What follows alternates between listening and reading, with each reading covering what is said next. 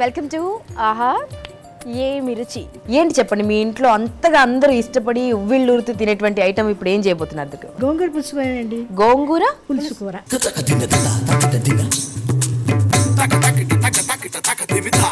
So గోంగూర పులుసు కూర చేయడానికి కావాల్సిన పదార్థాలు చెప్పండి. గోంగూర పులుసు కూర తయారు చేయడానికి కావలసిన పదార్థాలు.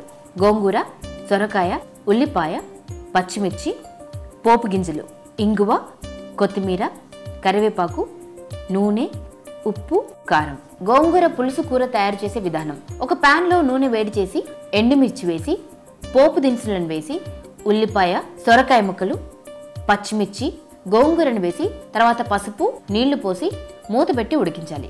కాస్త ఉడికాక కరివేపాకు రాతి ఉప్పు ఎర్రకారం వేసి తర్వాత కొత్తిమీర వేసి ఇంకాసేపు ఉడికించాలి. ఇలా ఉడికిన గోంగూర పులుసుని ఒక బౌల్లోకి తీసుకుని కొత్తిమీరతో గార్నిష్ చేసుకుంటే గోంగూర పులుసు కూర ముద్దపప్పుతో తినడానికి రెడీ.